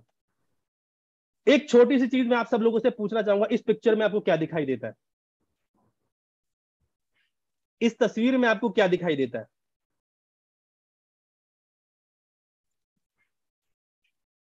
मैं एक बार सुमित तिवारी जी का माइक अनम्यूट करता हूँ। सुमित तिवारी जी एक बार माइक अनम्यूट करिए। मैं आपसे पूछना चाहूँगा आपको इससे क्या समझ में आ रहा है? थैंक यू सर इसमें समझ में आ रहा है कि एक तरफ़ हम अपने पूरे परिवार का बोझ लिए बैठे हुए हैं और वो भी लास्ट स्टेज है स्टार्टिंग से लेके लास्ट स्टेज तक का दिख रहा है sir very nice very nice बहुत बढ़िया। थैंक यू ये पिक्चर दर्शा रही है कि पूरे परिवार का जो ज़िम्मेदारी है, जो लोड है, वो किसके ऊपर है? जो एक परिवार का एक मुखिया है उसके ऊपर। यहाँ पर परिवार का मुखिया ये व्यक्ति है और उसके पूरे परिवार का, चाहे वो दादा, दादी, बच्चे वाइफ भाई, बहन, सबका सबका ज़िम्मेदारी किसके ऊपर है? इस व्यक्ति ने संभाल रखा है पूरे परिवार को यस और नो लेकिन फ्यूचर इज़ अनसर्टिन कल किसी ने नहीं देखा। खुदा ना करे, अगर इसके साथ ऐसा हो जाए तो क्या होगा? खुदा ना करे इसको कुछ हो जाए तो क्या होगा? परिवार का दूसरा सदस्य संभालने की कोशिश करेगा। कोशिश करेगा क्या संभाल पाएगा? मैं आप लोगों से पूछता हूँ सब लोग जितने आप बैठे हुए हैं जो काम आप करते हैं क्या आपके परिवार वाले आपका काम कर सकते हैं? नहीं कर पाएँगे ना। अगर आप जॉब करते हो आप अपने एक दिन जॉब पर मत जाइए एक दिन अपने वाइफ को भेज दीजिए पापा को भेज दीजिए मम्मी को भेज दीजिए बच्चों को भेज दीजिए क्या वो आपका काम कर पाएँगे? नहीं कर पाएँगे ना। यानी कि आप अपना काम आप आप ही जानते हो, दूसरा परिवार वाला करने की कोशिश करेगा, लेकिन वो कर नहीं पाएगा। यहाँ पर भी आप देख रहे हो तस्वीर में कि संभालने की कोशिश हो रही है, लेकिन संभल नहीं रहा है परिवार। अगर हम वेस्टीज करते हैं, वेस्टीज क्यों कर रहे हैं? आज आज आपका वाई क्लियर हो जाएगा। अगर हम वेस्टीज करते हैं, और वेस्ट, और इस तरीके का पिलर जो आप यहाँ पर एक पिलर देख रहे हैं अगर ऐसा पिलर यहाँ पर भी लग जाए तो कैसा रहेगा? अगर ये वाला पिलर यहाँ पर भी आ जाए मौज हो जाएगी कि नहीं हो जाएगी? अब ये व्यक्ति रहे ना रहे इस परिवार को कुछ होगा क्या? ये परिवार अब स्टेबल रहने वाला है। एग्जाम्पल्स आपके सामने हैं ढेर सारे हैं। लॉकडाउन के अंदर हमने रिजवान सर को खोया। लेकिन परिवार आज भी स्टेबल है संभला हुआ है आज भी लाइफ को एंजॉय कर रहा है। राजू गुप्ता सर को हमने खोया। लेकिन परिवार को आज भी तकलीफ़ नहीं है। आज भी मैम रेड कलर की ऑडी कार दौड़ाती हैं। तकलीफ़ नहीं है। लेकिन आप सोच के देखो, जो काम आप पहले कर रहे हो, अगर वेस्टीज ना करो और आपको खुदा ना करे कुछ हो जाए तो क्या आपका परिवार चलेगा? चलेगा वेल एंड गुड फिर मत करो वेस्टीज। कोई ज़रूरत नहीं है। क्योंकि आपके पास पैसा भी है टाइम भी है, अब तो सिक्योरिटी भी है। मत करो वेस्टीज। लेकिन अगर आपको लगता है कि नहीं, सर सोचने की ज़रूरत है तो फिर आपको वेस्टीज बिज़नेस ज़रूर करना चाहिए। आई होप आपका वाई क्लियर होगा कि मुझे ये क्यों करना है। सक्सेस फॉर्मूला मैं आप सब लोगों को बताना चाहूँगा। सक्सेस फॉर्मूला आपको पता है it takes three hour three years to complete three hour movie एक जब आप तीन घंटे की पिक्चर देखने जाते हो ना मूवी में टिकट लेके सिनेमा हॉल में जाते हो तो उस पिक्चर को बनाने में एक डायरेक्टर को लगभग ढाई से तीन साल लग जाते हैं। ढाई से तीन साल लगते हैं पिक्चर को बनाने में। और उसको ये नहीं पता, ये हिट होगी कि फ्लॉप होगी। उसको नहीं पता। वो अपनी पूरी बेस्ट करने की कोशिश करता है, लेकिन वो कई बार फ्लॉप भी हो जाती है, कई बार हिट भी हो जाती है। कोई पता नहीं है। मैं आप लोगों से कहता हूँ इन्वेस्ट थ्री ईयर इन्वेस्टीज उसने भी अपने तीन साल लगाए, तीन घंटे की पिक्चर बनाने को बनाने में। Invest three years in Vestige Vestige में केवल अपने तीन साल लगाओ। ये गारंटी है कि आपके आने वाली तीन जनरेशन की लाइफ सुपर हिट होने वाली है फ्लॉप नहीं होगी। सुपर डुपर हिट होने वाली है। केवल तीन साल इन्वेस्ट कर रहे हैं। कर सकते हैं। श्योरिटी है वेस्टीज में ये होगा। आगे बात करता हूँ। सक्सेस फॉर्मूला इन वेस्टीज ये चार पाँच पॉइंट्स मैं आपको बता रहा हूँ, इन पॉइंट्स को बड़ा ध्यान से हम लोग सुनेंगे। अगर हम ये काम कर लेते हैं रेगुलर करते हैं तो ऑटोमेटिकली कामयाबी आपके कदम चूमने वाली है दोस्तों। इस बिज़नेस में कम से कम कमिटमेंट लेकर आना तीन साल की। कम से कम तीन साल की कमिटमेंट लेकर आना। बहुत सारे उतार उतार चढ़ाव इस बिज़नेस में बीच में आते हैं। आएँगे। टेस्ट लिया जाएगा। ऊपर वाला बहुत परखेगा कि तुम्हें दू कि ना दू। तो तीन साल तक टिके रहना। मैं इस बिज़नेस में हमेशा कहता हूँ कि तीन साल के बीच में, इन तीन साल के दौरान में तीन बार ऐसे ऐसे ऐसे ऐसे चैलेंजेस आएँगे कि आपको लगेगा, यार, छोड़ो यार अब नहीं हो रहा। सर, ये टीम छोड़ गई। रोक लेना अपने आप को कंट्रोल कर लेना। सर घर वाले मना कर रहे हैं कंट्रोल कर लेना। कई बार ऐसी सिचुएशन आ सकती है कि आपको चुनना पड़ेगा, घर या वेस्टीज वेस्टीज करेगा तो घर छोड़, घर करेगा, घर में रहना है तो वेस्टीज छोड़। सिचुएशन ऐसी ऐसी तक आ सकती है कि दो में से एक चूज़ कर। आपकी लाइफ के अंदर तीन बार सिचुएशन ऐसी आएँगे कि आपको वेस्टीज छोड़ना पड़ेगा। आपको बस ऐसी जगह पर अपने आप को संभाल के रखना है। तीन बार अगर आपने फेस कर लिया ये सिचुएशन कामयाबी आपकी कदम चुभने वाली है। तीन साल लगेंगे वेस्टीज के अंदर। तीन साल से पहले नो no डाउट आपको सफलता मिल सकती है, लेकिन मैं ऑन एन एवरेज सभी के लिए बात कर रहा हूँ, तीन साल लगेंगे। 2022 चल रहे हैं 2025 तक टिके रहना सिस्टम जो बोलता है अपलाइन जो बोलता है, वो करते रहना, आपको कामयाबी डेफिनेटली मिलने वाली है। ड्रेस कोड कमिटमेंट इस बिज़नेस में ड्रेस में रहना बहुत ज़्यादा ज़रूरी है। मैं भी इस मीटिंग में विदाउट ड्रेस आ सकता था। वेस्टीज की टी शर्ट पहन के, घर के कपड़े पहन के बैठ सकता था। लेकिन मुझे पता है, मुझे यहाँ पर प्रोफेशनल लोग, जो ड्रीमर लोग हैं, वो सुनने के लिए आ रहे हैं। तो मैं इधर उधर के कपड़ों में नहीं बैठ सकता। मुझे ड्रेस में बैठना पड़ेगा। मैं कहीं पर जाता हूँ वेस्टीज के किसी भी काम से जाता हूँ, मैं ड्रेस में जाता हूँ। इवन मैं किसी की शादी में जाता हूँ, मैं ड्रेस में जाता हूँ। कोट पहनने ना? लाल पीला क्यों पहने? अपना पहनते हैं। शादी में जाना कोई दिक्कत नहीं, अपना पहनते हैं। ड्रेस के बड़े फ़ायदे हैं। कई लोगों को मैं देखता हूँ, उनको टाई पहनने में बड़ी शर्म आती है। कई लोगों को बड़ी शर्म आती है, दोस्त, शर्म करोगे तो कुछ नहीं होगा। मैं बहुत सारे लोगों को देखता हूँ कि जो, जब वो वेन्यू पर पहुँचते हैं, तब जाके वो क्या करते हैं, अपने टाई कसना शुरू करते हैं। उससे पहले टाई नहीं पहनेंगे। बाइक पे जा रहे हैं, टाई नहीं पहनेंगे। वो क्या करेंगे डीएलसीपी पहुँच गए। अब जैसे ही डीएलसीपी गेट पे आ गया उन्होंने टाई बांधना शुरू कर दिया और ऊपर कर दिया और अंदर। जैसे ही बाहर निकले, उन्होंने टाई उठाई, उतारी और जेब में डाल दी। अरे भैया, आप ऐसे प्रोफेशन में हो जिसमें आपको दिखाना पड़ता है और आप दिखाई नहीं रहे लोगों को। ड्रेस की कमिटमेंट सर वेस्टीज के वेस्टीज में आप प्राउड करो, आप वेस्टीज में हो। अपने अपने ड्रेस के ऊपर प्राउड करो। घबराने और टेंशन लेने की ज़रूरत नहीं है। कमिटमेंट करो कि, सर वेस्टीज के काम से जा रहा हूँ, घर से निकलूँगा प्रॉपर ड्रेस अप बुकिंग ये नहीं कि वहाँ जाके पता चला बैग से आपने कोट निकाल लिया, जेब से टाई निकाल लिया और फिर पहनना शुरू कर दिया। ऐसे नहीं चलेगा बिज़नेस रास्ते में प्रोस्पेक्टिंग कर रही प्रोस्पेक्टिंग विदाउट ड्रेस करोगे तो थोड़ी होगी। नॉलेज लेनी है आपको। Knowledge of Vestige profile product plan triple P इन इस चीज़ का मास्टर बनना है आपको। वेस्टीज की प्रोफ़ाइल के बारे में, प्रोडक्ट्स के बारे में और प्लान के बारे में कंप्लीट नॉलेज लेनी है। जब तक ये नहीं लोगे, सफलता आपको मिलने वाली नहीं है। At least one level jump in commitment in one level jump commitment in a month gold level तक, जब तक आप गोल्ड डायरेक्टर नहीं बन जाते, तब तक कमिटमेंट करोगे, हर महीने एक लेवल जंप करोगे। जब तक आप गोल्ड डायरेक्टर नहीं बन जाते, तब तक हर महीने एक लेवल जंप कर रहे हैं। पाँच पे हो इसमें आठ परसेंट की प्लानिंग करो। आठ परसेंट पे हो इसमें दस परसेंट की प्लानिंग करो। दस परसेंट पे उसमें ब्रॉन्ज डायरेक्टर की प्लानिंग करो। ब्रॉन्ज डायरेक्टर हो इसमें सिल्वर डायरेक्टर की प्लानिंग करो। सिल्वर डायरेक्टर हो इसमें गोल्ड पे गोल्ड की प्लानिंग करो। गोल्ड पे हो, अब आप एलओबी निकालना शुरू करो। एलओबी पे फोकस करो। अब आपको आगे लेवल पे जाने की ज़रूरत नहीं, अब आप एलओबी की प्लानिंग करो। जब तक गोल्ड नहीं बन जाते, एक लेवल हर महीने कमिटमेंट चाहिए। ये नहीं हो गया तो ठीक, नहीं तो कोई नहीं, अगले महीने कर लेंगे। वेस्टीज में कौन सा हार्ड एंड फास्ट है कि हाँ करना ही पड़ेगा आईडी डोमिनेट कर दी जाएगी। ऐसा नहीं है। चार सीएनटी और एक सेमिनार आपको अटेंड करना कंपलसरी है। महीने के अंदर चार संडे तो क्या चार सीएनटी ली जा सकती है? चार सीएनटी कंपल्शन है, लेनी ही पड़ेगी। एक सक्सेस सेमिनार अटेंड करना मस्ट है। सीएनटी फ्री ऑफ़ कॉस्ट होती है सेमिनार के दो ढाई सौ, तीन सौ रुपए लगते हैं, आपको इतनी इन्वेस्टमेंट तो करनी पड़ेगी अपने ऊपर। बिना इसके हम आगे नहीं बढ़ पाएँगे दोस्त। Hundred PV consistency offer commitment ये कमिटमेंट भी चाहिए। प्रेस्टीज में कामयाब होना चाहते हो, बहुत आगे तक जाना चाहते हो तो हंड्रेड पीवी की कमिटमेंट लेकर चलो कि सौ पीवी करना है। सौ पीवी अगर यूज़ नहीं होता है, साठ पीवी अपना खरीदो, चालीस पीवी रिटेल करो, बाहर को बेचो, दोस्तों को बेचो, किसी को भी निकालो, लेकिन सौ पीवी खुद करो। दो तारीख को सौ पीवी की बिलिंग करके आपको अपने ग्रुप्स के अंदर व्हाट्सएप स्टेटस के अंदर, जहाँ मर्ज़ी, वहाँ सब हर जगह फैला दो कि भाई मैंने अपनी कंसिस्टेंसी कर दी, क्या आपने करी? जब तक आप नहीं करोगे, लोग कैसे करेंगे? मैं देखता हूँ लीडर लोग क्या करते हैं? मंथ एंड तक, इकतीस तारीख तक अपनी शॉपिंग नहीं करते हैं। मंथ एंड में देखते हैं मेरा लेवल हो गया तो, तो चालीस कर लूँगा वरना वो चालीस भी नहीं करूँगा। उसका लेवल होता ही नहीं है। लीडर वो है जो डे वन में अपनी शॉपिंग करे right right start last but not the least right start for a new associate बहुत बड़ा बहुत बड़ी बहुत बड़ा टॉपिक है ये। कि एक नया व्यक्ति जो आपके बिज़नेस में आता है सर उसके साथ सही शुरुआत कैसे करें? हमारे लीडर, लीडर बड़ा कंफ्यूज रहते हैं। कि सर मैंने उसको वेस्टीज प्रेजेंटेशन दिखा दी ज्वाइनिंग भी करा दी परचेसिंग करा दी, अब क्या करूँ? अब अगला स्टेज पता ही नहीं अपने को क्या करना है। बस सीएनटी सीएनटी सीएनटी अगले पता ही नहीं क्या करना है। मैं आपको प्रॉपर गाइड करता हूँ कि आपको अगले तीन महीने के अंदर, अगले तीन महीने के अंदर क्या करना है। Things to do in first ninety days ninety days के बारे में बात क्यों कर रहा हूँ? क्योंकि ज़्यादातर लोगों की डेथ जो है नाइनटी डेज़ में हो जाती है इस वजह से। ज्वाइन आज करेगा, तीन महीने से पहले पहले वो निकल लेगा इस वजह से कि कुछ नहीं होता, बेकार काम है, उसको कोई भड़का देगा, कोई कुछ कह देगा और वो छोड़ के भाग जाएगा। नब्बे दिन से पहले भाग जाएगा वो। तो ऐसा क्या करे कि वो टिका रहे? उसके ऊपर मैं थोड़ा सा बात करता हूँ। जब वो इस बिज़नेस में आता है ना, आपको उसको एक डोज देना पड़ेगा। आपको पता है, एक छोटा बच्चा जब पैदा होता है, इस दुनिया में आता है तो उसको आते ही उसको डोज लगने शुरू हो जाते हैं।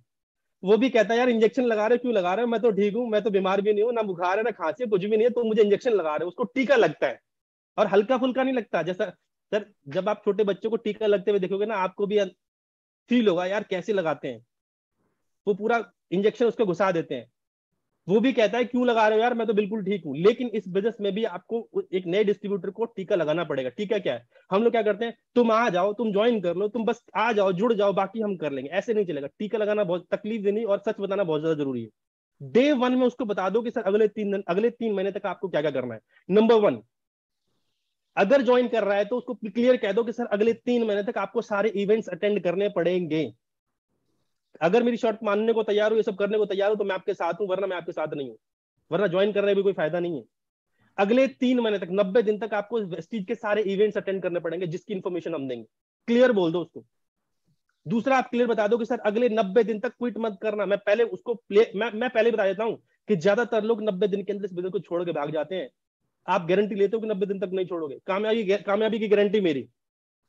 क्या आप अपनी गारंटी लेते हो कि तीन महीने से पहले नहीं जाओगे? वो कहता है हाँ बिल्कुल नहीं जाऊँगा। अब वो छोड़ नहीं सकता नब्बे दिन से पहले। छोड़ेगा तो उसको ये बात याद आ जाएगी कि सर ने पहले ही कहा था कि ज़्यादातर लोग छोड़ जाते हैं और मैं उन ज़्यादातर में आ गया। तो क्लियर बता दो कि नब्बे दिन से पहले, तीन महीने से पहले आपको इस बिज़नेस को छोड़ना नहीं है। अक्सर लोग छोड़ जाते हैं, मैं आपको इसलिए पहले बता रहा हूँ। आपको अगले तीन महीने के अंदर इस बिज़नेस का मास्टर बनना है।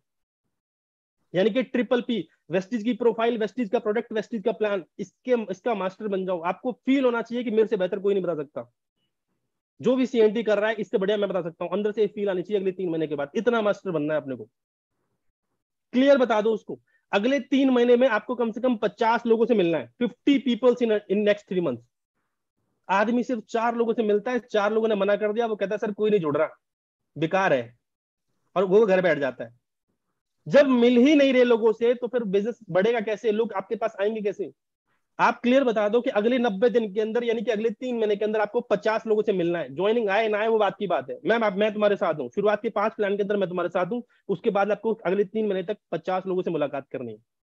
इससे पहले क्विट मत कर देना।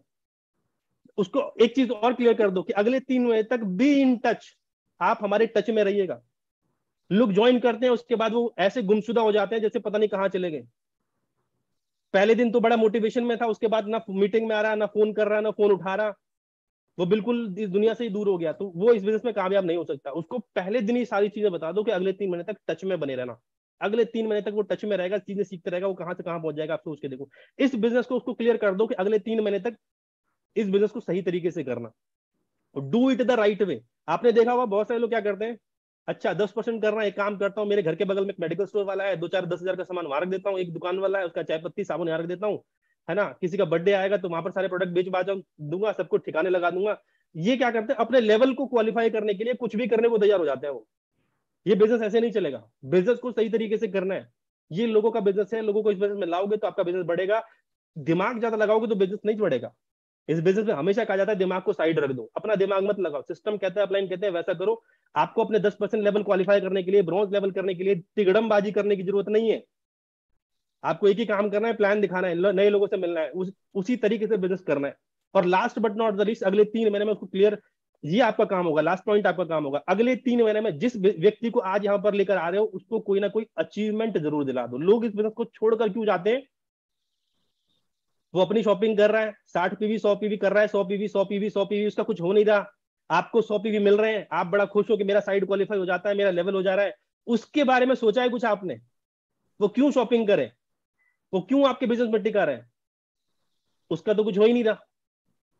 तो आपको उस व्यक्ति के बारे में सोचना है, अगले तीन महीने में, अगर उसने ये काम करे और आपने उससे, उसने, आपने उससे अगले तीन महीने तक ये काम करा लिए तीन महीने में वो व्यक्ति ब्रॉन्ज लेवल पहुँच सकता है। अगर वो पचास लोगों से अगले तीन महीने में मिल जाएगा तो ब्रॉन्ज लेवल पहुँच जाएगा। अगले तीन महीने तक वो सारे इवेंट इवेंट अटेंड करेगा तो वो तीन महीने में ब्रॉन्ज पहुँच जाएगा। आराम से ब्रॉन्ज पहुँच सकता है। लेकिन हो क्या रहा है? एक नया व्यक्ति आया, उसको पहले महीने भी पाँच पे है, दूसरे महीने पाँच पे तीसरे भी पाँच पे जुड़ते जुड़ते उसके छह सौ हो गए तो आठ पे भी आ गया, और हमको उससे कोई फ़र्क नहीं है, बस उसके सौ पे भी आ रहे हैं।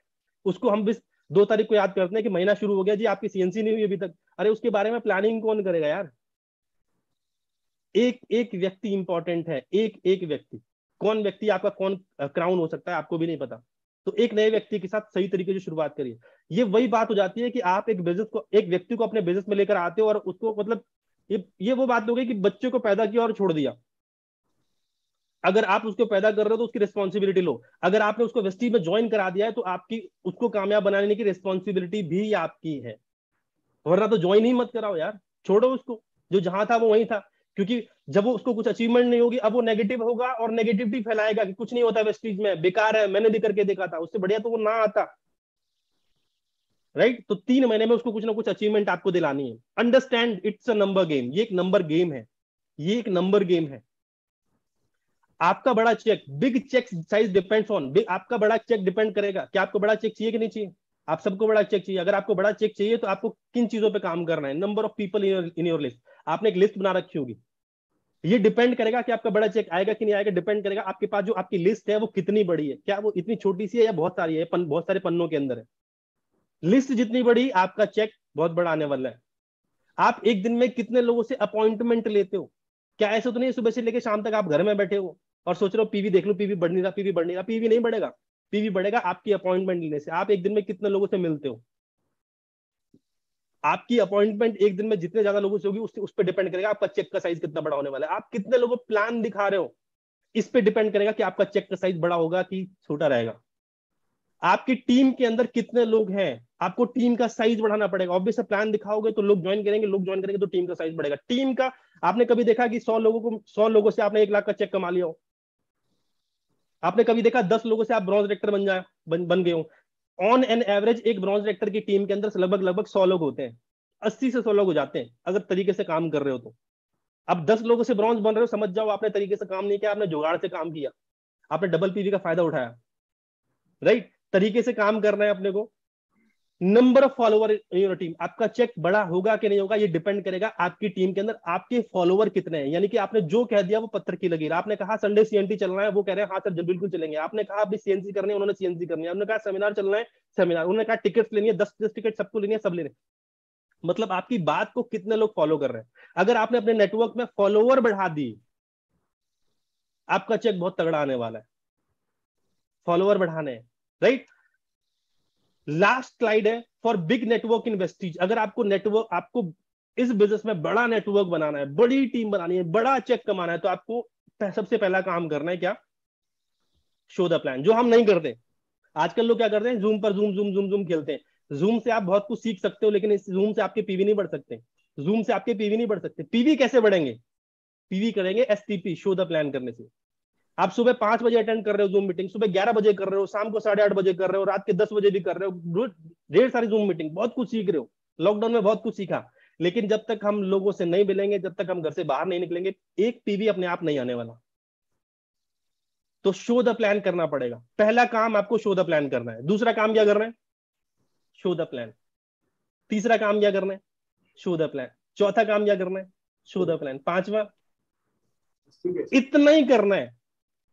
असली लर्निंग आपको जूम मीटिंग से नहीं मिलेगी। अपलाइन आपको ऑब्जेक्शन हैंडलिंग कितनी भी सिखा दे, सीख के जाओगे, जब आप जब आपका प्रोस्पेक्ट आपसे सवाल करता है ना तो सब भूल जाते हो कि अपलाइन ने क्या सिखाया था।